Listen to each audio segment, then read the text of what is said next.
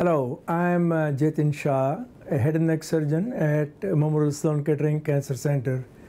and uh, an endocrine surgeon with interest in thyroid cancer for over four decades.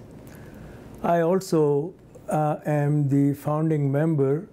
and a member of the steering committee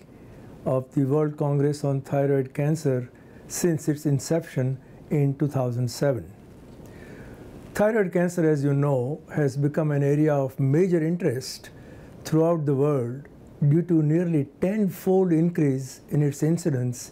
uh, nearly in all parts of the world. This increase uh, is largely attributed to advances in technology, overdiagnosis with the use of ultrasound,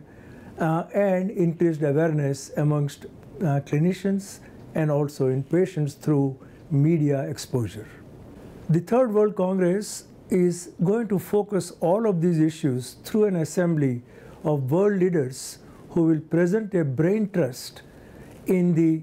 molecular diagnosis, clinical diagnosis, radiological diagnosis, surgical management, adjuvant therapy, surveillance strategies, and uh, research in the uh, fundamental issues pertaining to the genesis of thyroid cancer and its biological behavior.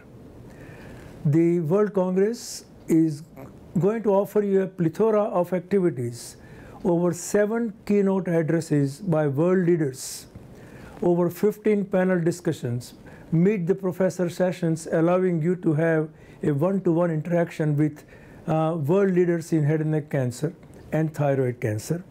uh, as well as an opportunity to present uh, podium presentations and uh, posters and abstracts. Boston, as you know, is a city of knowledge and intellect, and your steering committee, composed of leaders from major world centers such as the Harvard University, Mayo Clinic, Memorial Sloan Kettering Cancer Center, MD Anderson Cancer Center, University of Toronto, and other major uh, medical institutions have taken painstaking effort